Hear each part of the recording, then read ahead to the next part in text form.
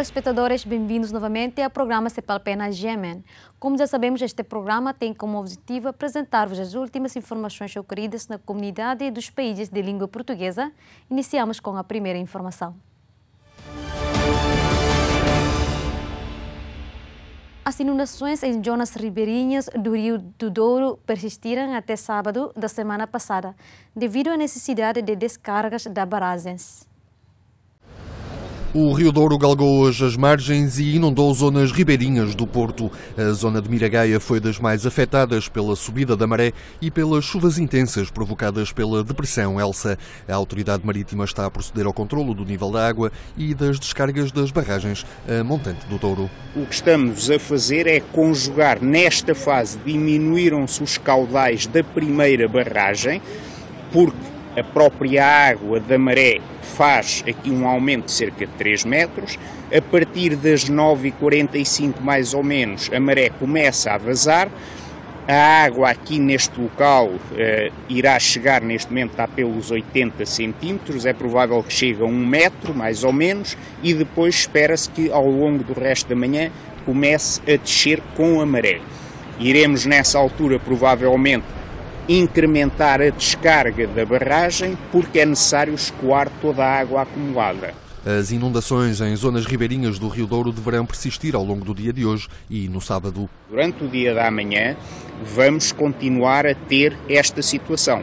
Eh, em termos de previsão de chuvas, eh, a chuva irá diminuir, o que é bom, mas, como referi, há necessidade de ir esgotando a água que está acumulada nas albufeiras e essa água nas albufeiras vai sendo libertada porque elas, algumas delas, estão a atingir o seu máximo. A passagem da Depressão Elsa, em deslocação de norte para sul, provocou em Portugal dois mortos, um desaparecido e deixou 70 pessoas desalojadas, registrando-se até amanhã de hoje mais de 6.200 ocorrências em todo o país. O presidente da República de Portugal disse que o país tem uma política externa muito consistente. Marcelo Rebelo de Souza fez esta declaração à margem da reunião anual do Conselho da Diáspora. Nós temos uma política externa muito consistente. É muito antiga, é muito coerente, vai para além de presidentes da República e de primeiros ministros e de ministros dos estrangeiros e de governos. E isso é muito bom porque os nossos aliados, os nossos parceiros e os nossos amigos sabem aquilo com que podem contar. Os aliados sabem que são aliados e que não há o risco de nós os trocarmos por parceiros. Os parceiros sabem que vão ser parceiros e dificilmente serão aliados. E os amigos são amigos e os irmãos são irmãos. E, portanto, a fraternidade na base da língua ou do percurso histórico, ou da cultura e de outros laços, existe, como a nossa fraternidade em termos familiares. Pode somar-se à fraternidade, obviamente, a aliança e a parceria. Não se pode transformar em irmãos quem é parceiro ou quem é aliado. Isto é, é, muito importante e eu devo dizer, e também este é um segundo cumprimento Sr. Ministro de Estado e Negócios Estrangeiros, que sempre foi assim. Temos, aliás, aqui na minha frente, dois ministros, um antigo e um atual de negócios estrangeiros. Mas neste mundo de hoje é muito importante saber-se aquilo que se conta quando se pensa em Portugal. E todo o mundo sabe aquilo que conta. Que a nossa vocação é sermos uma plataforma entre culturas, civilizações, continentes e oceanos. E digo bem oceanos, sei que aqui foi falado da economia azul, é evidente que o mar é uma prioridade tão importante, tão importante, que teremos a Conferência das Nações Unidas dos Oceanos em Portugal, em colaboração com o Quénia, e continuamos a lutar pela extensão da plataforma continental e continuamos a explorar todas as virtualidades da visão oceânica, isto é, da problemática dos mares. E porque somos esta plataforma, somos cada vez mais importantes. Porque o mundo, neste momento, não está numa onda de plataformas. E haver quem possa ser uma plataforma é uma raridade. É um bem raro. Noutros tempos não era uma raridade, hoje é uma raridade. É uma raridade porque o multilateralismo não está na moda. Está na moda o unilateralismo. E está na moda o unilateralismo e percebe-se um pouco porquê. por causa das crises nos sistemas políticos de vários Estados, e alguns deles potências, e por causa também da complexificação do mundo, isto é, do panorama internacional.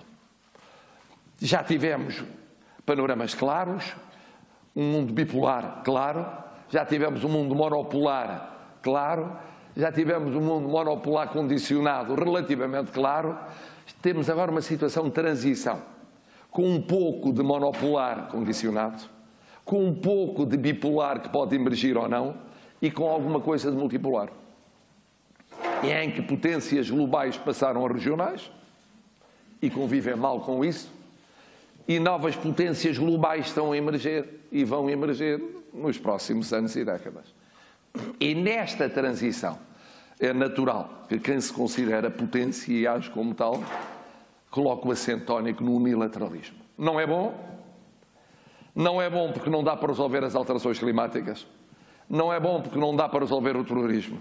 Não é bom porque não dá para resolver o panorama do equilíbrio de poderes à escala mundial. Não é bom para o direito internacional. Não é bom para as organizações internacionais de vocação universal ou para universal. Não é bom. Mas é o que é.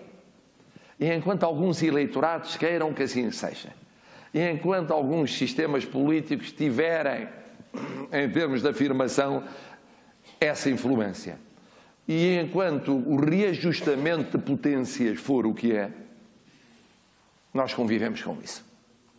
O português é muito realista, como sabem, é muito pragmático. E, portanto, preza os valores, mas tem de conviver no dia a dia com realidades que não correspondem exatamente aos valores que prossegue. Defende os valores, e o caso extremo é o secretário-geral das Nações Unidas, defende os valores, veja-se o caso das alterações climáticas, depois não tem o sucesso pretendido, porque o tempo não é em alguns aspectos ainda, o da consagração dos valores, mas o irmos à frente, abrindo caminho, é importante. E o termos a capacidade de sermos plataforma, todos azimutos, é um bem raríssimo. E somos. E somos. Porque pertencemos a várias organizações internacionais que permitem essa virtualidade. Permite-nos permite colocar na agenda problemáticas novas que vão ganhando espaço. No momento em que o grande debate secular é qual será o centro económico do mundo. Continuará a ser o Ocidente, como foi desde a Revolução Industrial, ou voltará a ser a Ásia? As Ásias. Pensa-se na China, mas há a Índia. E há o Japão. E pode haver a Coreia, ou as Coreias, conforme a evolução dos acontecimentos. Isso está a mudar. E nós estamos lá. E o que é mais espantoso é que estamos lá há séculos. Isso às vezes é difícil de explicar a alguns amigos nossos, até um ou outro irmão, e, por maioria de razão, alguns aliados. É que nós não chegámos no século XIX, lá. Não chegámos na base de uma relação colonial típica do século XIX. Não, nós estávamos lá há séculos. Portanto, nós compreendemos aquilo e somos compreendidos que só se compreende com muitos séculos de, de contacto. E eu lembrei-me disso, não sei porquê, no momento em que hoje passam 20 anos sobre a transmissão ou a transferência de poderes em Macau. E nós temos presente que Macau é irrepetível. Não há dois Macaus. Não há dois Macaus. É irrepetível. É irrepetível porque nós somos irrepetíveis, porque a relação que criámos em Macau é irrepetível. Foi assim, é assim, será assim. E todos percebem isso e fazer paralelos ou fazer aplicações rápidas de outras circunstâncias é uma precipitação. Mas há relação com a Índia. O primeiro-ministro português está agora a regressar hoje, a regressar da Índia. E a Índia é outro gigante que está a afirmar-se numa lentidão e com um ritmo próprio da realidade oriental que o André Malraux tão bem retratava num texto pequenino que se chamava A Tentação do Ocidente, em que dois intelectuais, um ocidental e um oriental, dialogavam sobre o que é ser-se oriental e ocidental, o que é a velocidade do ocidental, sendo que eu desconto que sou um ocidental um pouco acelerado, de facto, mas e o que é ser-se um oriental, e eu admito que o Primeiro-Ministro é um oriental, embora ocidentalizado o que significa que permite-se mesmo, no topo do Estado português, ter uma coabitação que, que compreende os vários ritmos, os, os vários estilos e as várias percepções do mundo. Como vai Portugal? Ora bom, no meio desta confusão uh, universal e de um compasso de espera próprio do novo ciclo europeu, Portugal vai prosseguir num caminho com a sedimentação de pontos estratégicos essenciais. Esquecemos a política externa e defesa, porque essa aí já está. E, e falo da defesa também, porque depois é muito importante o papel das nossas Forças Armadas espalhadas pelos vários pontos vitais, ao serviço deste desígnio, mas vai numa linha que é uma linha de consistência financeira, sem a qual nada é possível. Sem a estabilização financeira, nada é possível. Passa-se a vida a resolver o problema financeiro, que foi, aliás, uma espécie de maldição da história portuguesa. Vai-se ao Testamento Dom João II, ao Testamento Dom Manuel I, tempos teoricamente áureos, e lá dizem, cuidado porque a situação financeira não está boa. E quando nós achamos que eles achavam que a situação financeira não estava boa, então, imaginamos como esteve no final do século XIX, como esteve hum, a quando desse passo estratégico genial que foi a transferência de acordo no princípio do século XIX para, o Brasil, as consequências financeiras hum, da, da situação vivida depois Portugal no quadro do Império e outras várias aventuras no século XX e no século XXI. O que é facto é que a estabilidade financeira é essencial. E não é uma questão de fetiche a ideia de um superávit orçamental. Se fosse um fetiche, então não sei quantos Estados já teriam optado por isso, por uma questão de mania, ou uma questão de moda, uma questão de, de, de, de simbologia. Não tem dois efeitos fundamentais, como compreendem. O primeiro é ser uma inversão de tendência que permite depois ser muito mais fácil ir pagando a dívida pública elevada acumulada, porque é o fenómeno inverso daquele que existia quando a dívida era negativa e ia subindo.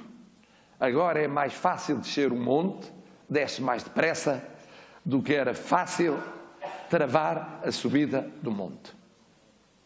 Em segundo lugar, porque abre uma capacidade de intervenção interna e externa, externa pela percepção tida no exterior em relação à situação financeira. Para investimento, para diversificação de exportações, para credibilidade nas instituições internacionais, para credibilidade nos mercados financeiros. Portanto, não é uma mania, não é um fetiche, é uma opção que é o corolário lógico de um caminho seguido. Só é pena que as vicissitudes e as crises, entretanto vividas, não tenham tornado possível mais cedo chegar-se a essa estabilização. Nós, neste mundo em que cada um puxa para o seu lado, está muito difícil haver entendimentos sobre o ambiente, sobre o clima, sobre refugiados, sobre migrações, sobre guerras e sobre paz, Portugal consegue ter um papel de ponte que é fundamental. As pessoas que aqui estão e que são influentes por todo o mundo, além dos que são influentes cá dentro, podem ajudar a essa ponte. Na Europa, na América, na Ásia, na África, na América Latina. E foi um bocadinho disso que eu falei, porque é essa a missão de Portugal neste momento, numa altura em que muito pouca gente pode fazer as pontes que fazemos. Eu devo dizer que nem sequer se falou do problema do superávit. Falou-se de todos os problemas, de, da votação do orçamento, como seria a votação ou não, os pontos importantes para cada partido para poder votar de determinada forma o, o orçamento. Eu não escondo que é uma decisão total da Assembleia da República, o Presidente não tem que ter opinião sobre qual é a votação. Simplesmente, simplesmente, primeiro, estou confiante que vai haver uma aprovação. Segundo, o que é natural é que essa aprovação seja uma aprovação para a esquerda. É o que é natural pela lógica das coisas. Agora, mais do que isso, o Presidente não pode nem deve dizer. Não, o que eu penso é que vai ser um ano em que nós vamos ter muito trabalho para casa, muito. Muito porque temos de fazer dois orçamentos eh, e votá-los em menos de um ano, o que é, de facto, muito intenso. Esses orçamentos vão definir o futuro nos próximos quatro anos.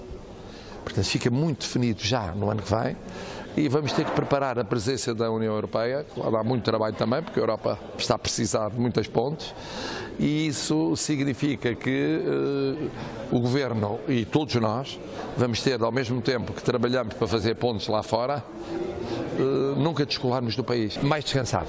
Eu fiquei mais descansado no sentido de que há pontos de entendimento possível uh, entre os vários partidos relativamente ao orçamento. Portanto, penso que não haverá problemas nem na votação da Generalidade, nem na votação final global. Hum, simplesmente há trabalho a fazer, como é natural, há, há muita conversa a fazer, eh, há muitos pontos a acertar e não é tanto para saber eh, quem vota como, mas é porque há pontos em que eh, é preciso ver se, se é possível ir mais longe para resolver problemas dos portugueses. Primeiro, que já não é uma, são duas, porque se é são uma, outra, que hoje se vai agravar à tarde, ao que parece. Segundo, tenho acompanhado isso em ligação permanente com o Sr. Ministro da Administração Interna e, através dele, com a Proteção Civil e que dentro do que é possível as câmaras, as freguesias e o Estado têm tentado acorrer aos milhares e milhares de ocorrências e de uh, problemas que surgiram por todo o país, e também eh, tive a oportunidade ontem de percorrer os sem-abrigo em Lisboa, sobretudo na zona que vai da Santa Apolónia e depois percorre Almirante Reis, segue até uh, ao Centro Histórico de Lisboa, onde há uma grande concentração de sem-abrigo, e verifiquei que, em, em alguns casos, eles tinham recorrido albergues e tinham recorrido a formas de proteção, estações de metropolitano e outras, eh, mas eh, acompanhei também a distribuição das refeições que se atrasar, atrasou um bocadinho por causa do trânsito e portanto foi mais complicado ontem, mas felizmente não havia eh, nenhum caso particularmente grave. Encontrei problemas de trânsito, encontrei realmente algumas perturbações da normalidade, isso é verdade, mas felizmente em relação aos sem-abrigo eh, não encontrei nenhuma situação eh, dramática e que temia encontrar na volta que dei num período que ainda era muito intenso, que foi o fim da tarde e o começo da noite. Bom, sabe que é muito difícil tomar medidas preventivas porque, por exemplo, previa-se que a passagem fosse mais rápida pelo território português não se previa que tivesse durado como durou até às tantas horas da madrugada, só começou a melhorar a partir das 3 horas da manhã. Eh, a previsão era uma previsão menos complicada do que aquela que ocorreu e ninguém previa também que viesse logo a seguir uma outra depressão que apanhasse o fim da tarde de hoje e o começo da noite. Portanto, isto vai mudando a um ritmo tal que o que se pode fazer de prevenção é sempre muito aleatório, é muito contingente, é muito difícil. Para mim é muito simples, nós assumimos um compromisso naquela ocasião, nós cumprimos os compromissos, eh, ele foi reafirmado pelo Presidente Jorge Sampaio Cavaco Silva e por mim, em particular na visita do Presidente Xi a Portugal, na minha visita à China, o que quer dizer o seguinte, Macau é um caso específico porque tem muitos séculos por trás. É um caso específico porque nós estabelecemos um relacionamento com os chineses e chineses connosco que é irrepetível, não tem a ver com nada mais. E significa o quê? As duas partes respeitarem um estatuto legal, com um conjunto de direitos dos cidadãos, um conjunto de liberdades fundamentais e com um certo poder político. Mas significa também haver desenvolvimento económico, social e cultural, haver respeito à língua portuguesa e valorização da língua portuguesa, significa ir por diante, parece que vai, o novo polo da escola portuguesa em Macau, que é urgente, significa uma maior ligação entre Macau e os países de língua portuguesa através do Fórum Macau. Muito obrigado. Muito obrigado. O presidente da República de Portugal deixou uma mensagem de Natal durante a sua visita a Afeganistão aos militares portugueses que estão em serviço neste país. Siga-se então a mensagem de Marcelo Rebelo de Souza. Já disse, Sr. Ministro, esta época não é uma época qualquer. Estamos a dois dias do Natal. Portanto, estamos no Natal. E o Natal é, em todo o mundo, mas sobretudo em Portugal, uma festa de família. E por isso estamos numa festa de família, que é duplamente uma festa de família. É uma festa de família porque somos portugueses. E onde quer que haja um português, aí está Portugal. E estes portugueses e estas portuguesas que aqui estão são Portugal vivo no coração do Afeganistão. Mas é Portugal. E é a família portuguesa que está aqui. Mas depois é a família militar. É uma outra família, também nossa. E nós pertencemos, todos os que aqui estamos, e também aqueles que são civis mas já são também militares de alguma maneira. Pertencemos às duas famílias. Somos portugueses e pertencemos à família militar. E o Comandante Supremo é o principal responsável, quer da família portuguesa, quer da família militar. E por isso não podia deixar de estar aqui convosco. Para mim é tão importante este almoço de Natal, como será importante o jantar daqui a dois dias com os meus filhos e os meus netos. É exatamente tão importante. São todas e todos portugueses e são todas e todos da minha família.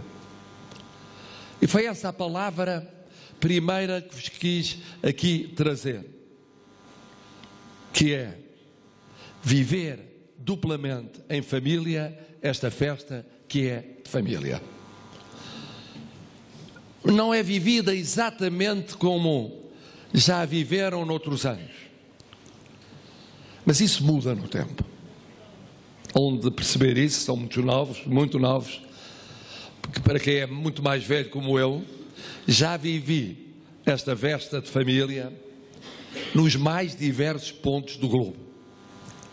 Já vivi na Ásia, já vivi em África, já vivi nas Américas, já vivi na Europa. Só verdadeiramente me faltou viver na Oceania. Ainda falta essa experiência. O que significa, primeira palavra, estamos em família, estamos convosco, sentimos que estão conosco.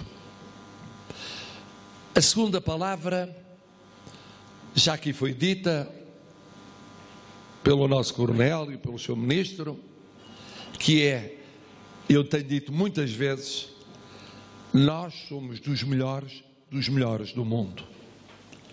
E também nas Forças Armadas. Somos mesmo.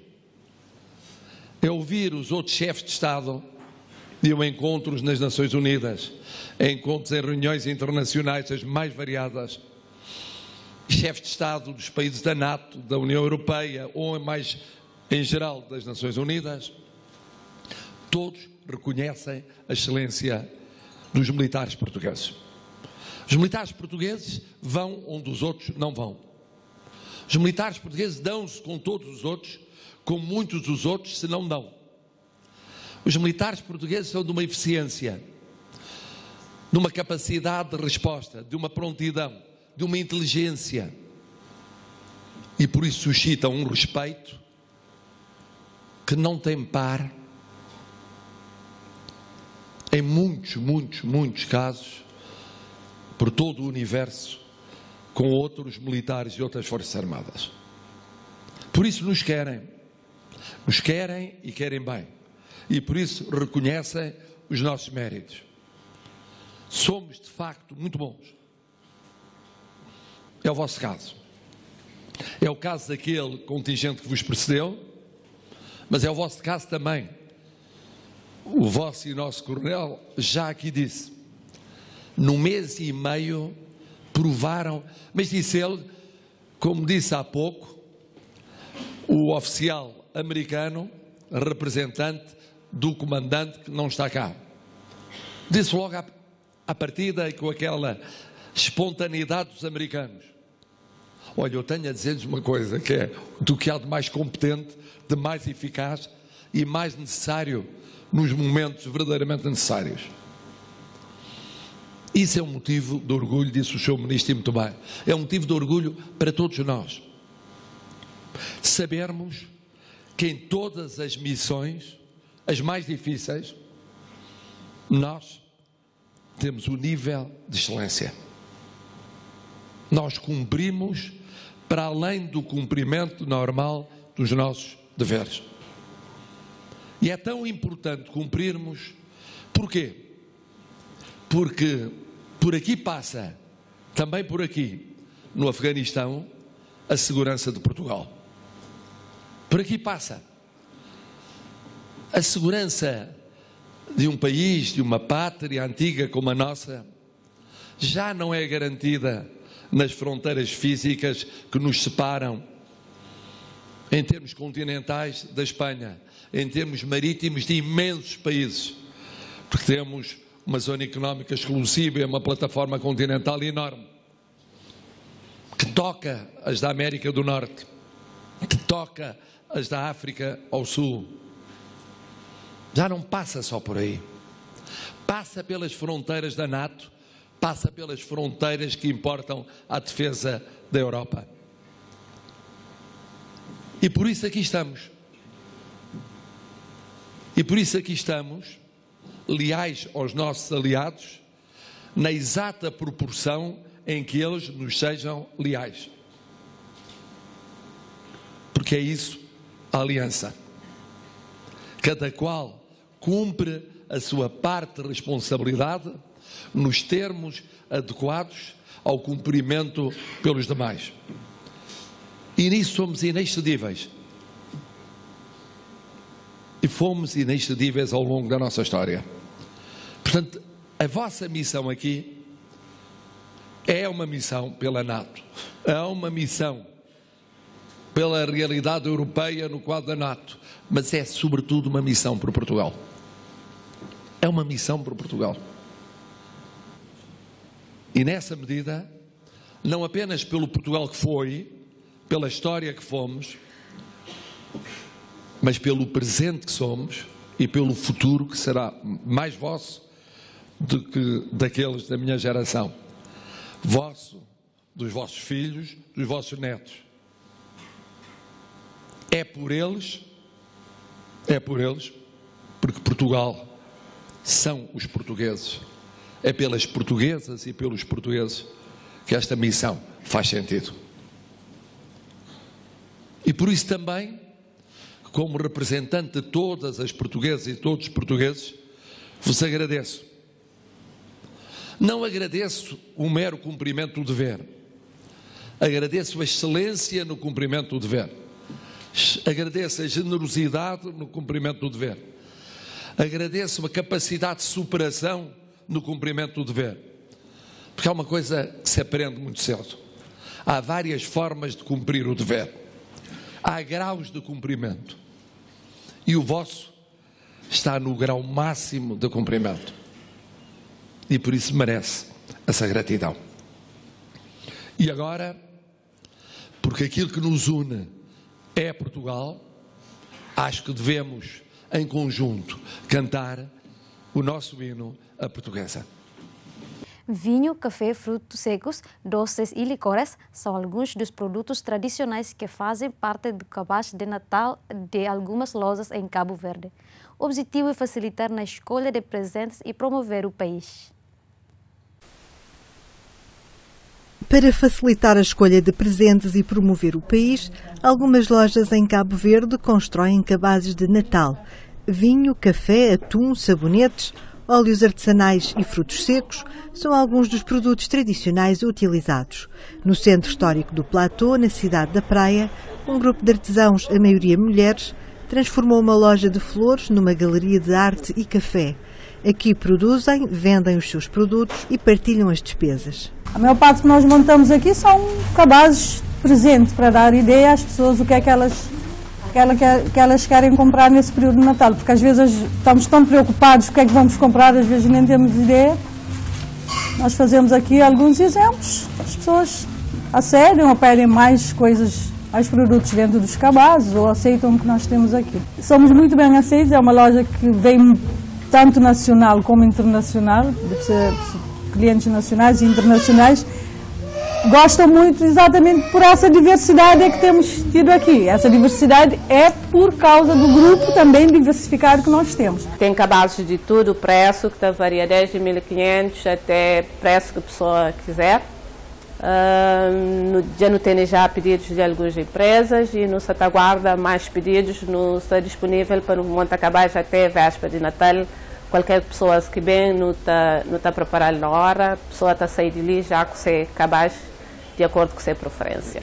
Nesta época festiva, as mulheres não têm mãos a medir para informar cabazes de Natal com produtos típicos do país, muitos deles feitos na loja com uma bijuteria. Natal feliz para toda a família, uh, para ser, esse ano para ser melhor do que anos anteriores e para anos que se também ser ainda melhor. Em Portugal, árvores ardidas ou doentes da Serra de Mochique, no Algarve, ganham vida durante a guarda de Natal. O escultor Nelson Ramos transforma os troncos em figuras do presépio. Árvores ardidas ou doentes da Serra de Monchique, no Algarve, ganham vida durante a quadra de Natal nas mãos do escultor Nelson Ramos. A transformação dos troncos em peças de arte de grandes dimensões é efetuada apenas com recurso a motosserras, cada uma com funções específicas, tarefa que para o escultor não é a principal dificuldade. As ferramentas, para já, têm que estar bastante afiadas, têm que ter guias apropriadas para certos cortes, porque tenho várias motosserras de vários tamanhos, depende dos cortes que sejam para fazer. Depois, aqueles mais de pormenor, é utilizado as chamadas carving, que é umas uh, guias pontiagudas que permite com que se contorne dentro da madeira mas a maior dificuldade não é só manusear as motosserras e sim a trabalhar a madeira. Porquê? Porque estas madeiras são madeiras sempre destruídas, ou estão ocas, ou estão apodrecidas, ou estão muito afetadas pelo bicho. No caso deste tronco, que era uma árvore bastante grande, centenária, foi atingida pelos incêndios e no qual eu faço sempre reciclagem de troncos. Eu nunca faço esculturas, ou, ou isto é, nunca é abatida uma árvore para eu fazer uma escultura. Natural do Algarve, mas residente no Alentejo, Nelson Ramos, entalhador de profissão, começou a esculpir com motosserras há cinco anos. Em 2017 iniciou o projeto em Monchique. Fiz três figuras, José, Maria e o Menino Jesus. O ano passado fiz os animais, a vaca, o burro e a ovelha, e este ano estou a construir os três reis magos. Ainda falta o anjo e o pastor. As peças, que demoram em média 4 a 5 dias para serem esculpidas, vão ficar instaladas no presépio no centro da vila de Monchique. O ministro das Finanças de Portugal afirmou que mantém a previsão de um déficit de 0,1 para o ano de 2019. Apesar disso, até o terceiro trimestre, registrou-se um saldo orçamental de 1% do produto interno bruto. O saldo orçamental até ao terceiro trimestre permite antever o cumprimento, mais uma vez, das metas orçamentais a que o Governo se um, estabeleceu. Temos um saldo que é ligeiramente uh, negativo em 2019. Esta é a previsão para o final do ano e este saldo ligeiramente negativo para o conjunto do ano permite acomodar o impacto do pagamento do subsídio de Natal dos funcionários e pensionistas. Devo recordar que o quarto trimestre, em termos orçamentais, tem normalmente um saldo negativo, foi assim em 2018, no valor de 1.587 milhões de euros.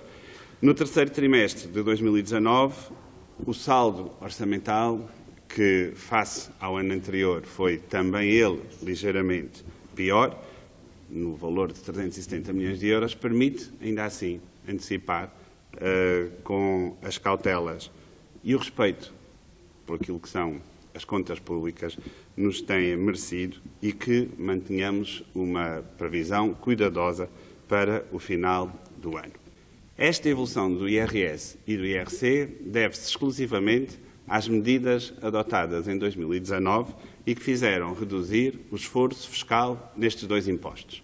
E elas são fáceis de avaliar. Por um lado, temos a reforma dos escalões do IRS, que, como sabem, teve impacto em 2018 e 2019 e fez cair muito significativamente o IRS pago pelos portugueses.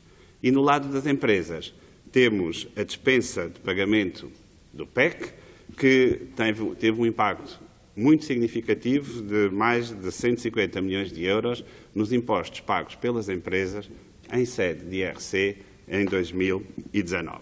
Na celebração dos 20 anos de estabelecimento da Região Administrativa Especial de Macau, a Lusa entrevistou Rodrigo Brum, secretário-geral adjunto do Fórum para a Cooperação Econômica e Comercial entre a China e os países de língua portuguesa. A Lusa entrevistou também Amélia Antônia, presidente da Casa de Portugal de Macau, Imagem. Vamos agora ver a entrevista. Bom, eu não estive presente, eh, mas as mensagens que tenho ouvido dizem respeito eh, a um futuro eh, que não diz só, não tem só a ver com Portugal. E na parte que me diz respeito, em relação ao Fórum de Cooperação Económica e Comercial entre a China e os países de língua portuguesa, os oito países de língua portuguesa, as perspectivas são particularmente, eu diria, risonhas, porque eh, estamos inseridos, Macau está neste momento inserido num contexto uh, da, da, grande baía de Guangzhou, Hong Kong e Macau, que uh, se fosse um país autónomo seria o décimo país no mundo. Uh, Macau, por sua vez, segundo as as estatísticas ou as previsões do, do Fundo Mundial, Fundo Monetário Internacional, eh, será no próximo ano a cidade do mundo com maior PIB per capita. Portanto, tudo isso são aspectos positivos eh, que os países de língua portuguesa, nos quais se inclui Portugal, eh, deveriam poder beneficiar, deveriam poder e saber beneficiar. Bom, o que Portugal deve fazer não me compete a mim dizer. Eh, eu penso que os países, um modo geral, eh, têm que abordar a China eh, com uma estratégia própria. Não quer dizer que tudo tenha que ser através de Macau, muito pelo contrário. Nós verificamos que o comércio internacional da China com o conjunto dos países de língua portuguesa, é em 3 quartos com o Brasil e esse volume passa pouco por Macau. Portanto, isso é a demonstração de que não tem que ser necessariamente com Macau. Mas os países mais pequenos, e convenhamos, Portugal é o terceiro nesta lista, vem a seguir ao Brasil e a Angola. Uh, os países mais pequenos têm certamente muito a beneficiar através dos acessos facilitados que a plataforma de Macau, onde português é a língua oficial, eh, onde existem bancos, nomeadamente bancos portugueses, eh, permitem um acesso ou permitem um melhor contacto com esses, eh, esses enfim, essas hipóteses muito tentadoras que todos nós ouvimos falar em relação à China um modo geral, mas que se podem concretizar aqui na província de Cantão. Estou otimista que sim, eh, é uma oportunidade, eu tenho dito que para Macau também é uma oportunidade que não se pode desperdiçar a ligação à, à Grande Bahia, ao projeto da Grande Bahia, que tem previsto, e é um projeto com a chancela de Pequim, e nesse projeto está prevista a ligação com os países de língua portuguesa. Portanto, isto não pode ser descurado nem por Macau, nem por nenhum dos países de língua portuguesa. Eu não tenho, não tenho dúvida sobre o papel da comunidade portuguesa. Uh, eu penso que dizer, é uma data muito especial para a China, uh, é um marco para eles, portanto é normal e natural que haja uma grande ênfase uh, do ponto de vista político, uh, de um posto, uh, portanto, com uma perspectiva global, mas estão lá os toques no discurso do Presidente a chamar a atenção para que, sendo a cultura chinesa a dominante, que é para trabalhar com as outras e manter as pontes e o entendimento, etc. Quer dizer, não é aquele discurso uh, para pôr a ênfase uh, nessa parte, mas não está esquecido dentro do discurso.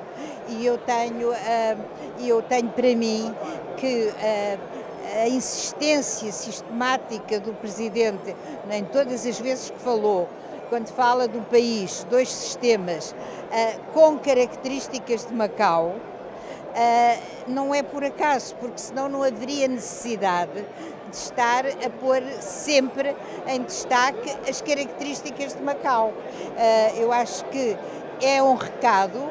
É, um, é um recado, obviamente, para Hong Kong sobre o que se passa em Macau, mas eu penso que não é exclusivamente para Hong Kong.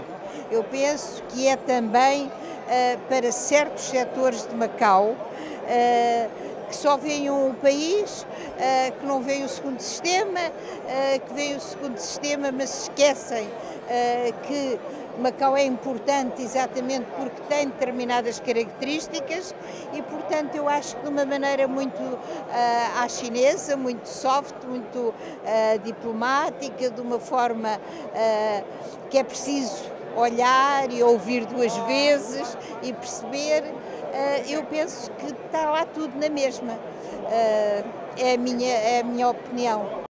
Nós estamos neste momento, inclusive, o Executivo nomeado, cinco secretários, tanto quanto eu uh, julgo saber, só haverá um secretário uh, que não domina a língua portuguesa. Portanto, uh, quatro secretários que falam português uh, normal. Uh, eu penso que isto também é sintomático. E quando eu ouço dizer que o não fala, eu tenho alguma dúvida uh, se não fala mesmo ou não fala o suficiente para, para considerar que fala. porque pelo percurso de cada um deles, dá-me ideia que não é propriamente desconhecedor de português mas acho que sim. Não, não tenho, não tenho, não, tô, não estou uh, particularmente preocupada com esse ponto de vista. Eu penso que o investimento uh, no português, uh, nas ligações com a comunidade portuguesa, com as comunidades de língua portuguesa, tem sido uma preocupação sistemática e, portanto, eu não, não, não acredito porque isso seria desvirtuar portanto, o valor uh, que Macau tem. E, portanto, eu não acredito nisso. O Festival de Gastronomia atrai muitos residentes e visitantes seduzidos pelas deliciosas iguarias asiáticas, europeias, chinesas e locais. Com a organização de espetáculos de música ao vivo, bem como outras atividades para animar este evento, esta festa gastronômica se tornou um popular acontecimento anual. O festival caracteriza-se pela sua atmosfera descontraída e presença de inúmeras bancas de rua.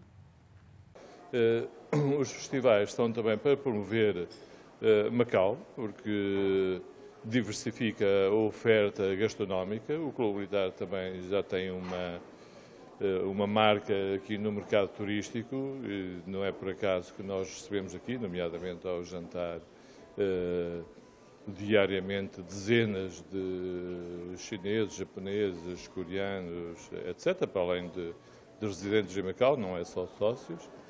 E, por outro lado, também serve, e é muito importante para nós, como uma escola, porque estes, este restaurante, portanto, que é considerado uh, o, talvez o melhor restaurante português de Macau, ou um dos melhores restaurantes portugueses, é difícil sempre avaliar eh, com um ar absoluto, mas é uma referência positiva, muito positiva. Não tem nenhum português a trabalhar na cozinha, são apenas filipinos. Os filipinos aprendem muitíssimo bem, são excelentes profissionais, têm grande estabilidade. De resto, vocês já tiveram a oportunidade de falar com alguns que estão aqui há 20 e tal anos, portanto, e isso para um restaurante é fantástico. Estes festivais servem para eles eh, terem uma maior consistência, para ter, terem acesso a novas receitas, novas maneiras de apresentar.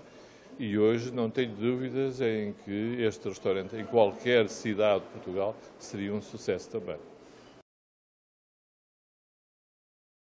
Para quem reside aqui, como é o nosso caso, quem reside aqui, o mercado, o mercado da saudade, uh, o, a, a, o restaurante da saudade, o clube militar, faz-nos sentir como em Portugal, quer dizer, que uma pessoa chega a poder ter acesso a um, um bacalhau à Gomes está, uh, ter acesso a um caldo verde, ter acesso a um rojões à minhota, etc., que, e com qualidade, de facto, para, para além do vinho e do pão, da própria cultura, da, da própria maneira de apresentar, faz com que o Clube Militar seja, de facto, um foco importante de difusão da gastronomia portuguesa e, portanto, em relação aos portugueses, é sem dúvida uma, uma, uma situação de grande regozijo quando chegam aqui, nomeadamente quando as pessoas vêm cansadas já de outras gastronomias que não a portuguesa, por andarem a passear, e chegam aqui e encontram gastronomia portuguesa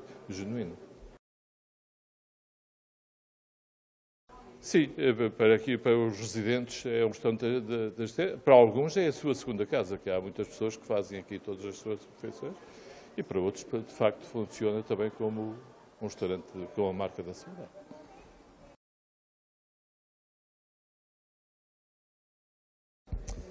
É diferente vir a Macau. Uh, Macau eh, é uma mistura de culturas em que a autenticidade portuguesa ainda se mantém em alguns dos cantos e nós estamos aqui num exemplo disso que é o Clube Militar e como vocês puderam constatar na cozinha a equipa dos colaboradores é toda de filipinos portanto que há 20 anos estão a trabalhar nesta cozinha e, e vestem a, a, a, camisa da cozinha portuguesa. Eh, são 20 anos são 20 eh, festivais gastronómicos por cá, por cá passaram imensos chefes portugueses.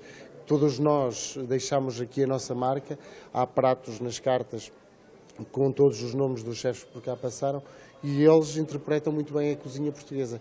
Portanto, é sempre bom voltar ao sítio onde fomos felizes e, eh, e, aqui em Macau isso acontece. Quer dizer, chegar aqui ao pé destas pessoas que falam um inglês uh, acessível, mas tentam falar português. Isto, a nós como portugueses, uh, eh, dá-nos eh, um alento de vir aqui outra vez e depois o Clube Militar tem, acho que aqui um papel fundamental, manter a cultura viva e a gastronomia viva de Portugal.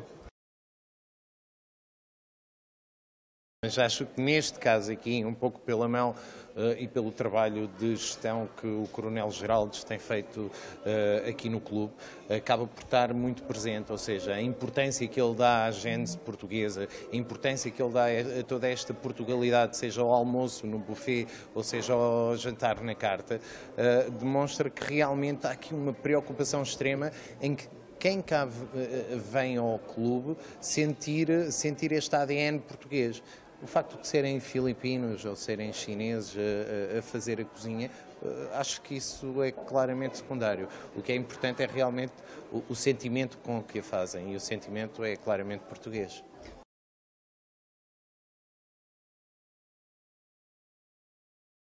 Foram as informações dadas nesta edição. Não se esqueçam de acompanhar o programa Cepal Pena GMN às segundas e quintas, às 5 horas da tarde e repetição às terças e sextas, à mesma hora. Até a próxima!